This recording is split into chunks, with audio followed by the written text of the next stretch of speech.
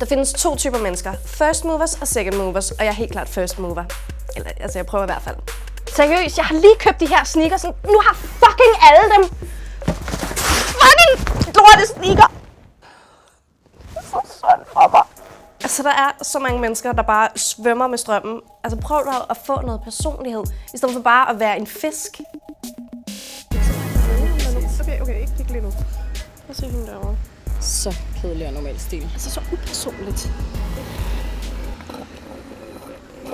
Altså, min smag er ikke din smag. Min smag er min smag. Så hvis du ikke kan lide min smag, så hold dig til din egen smag. Mm. Oh my god. Kanye West nye album? Mm. Fedt. Ikke så meget lige mig, jeg er så mere til det gamle. Ja, nå, ja, altså, jamen, det gamle var federe. Altså, musik var bare federe dengang. Al musik. Der blev lavet ret meget godt nu til det, synes jeg. Nå, ja, ja, altså helt klart.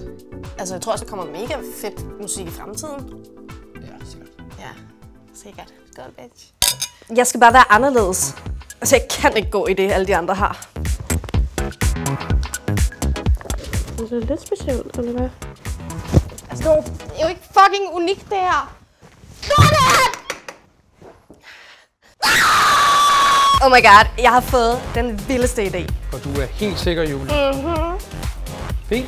Men så lad os få hakket de ben af. Yes, bitch! Kom med her engang. Altså, det her er jeg ret sikker på, at der ikke er nogen, der har gjort før mig. Ja, så kan man da i hvert fald ikke kalde mig medløber mere. Jeg kan i hvert fald ikke løbe.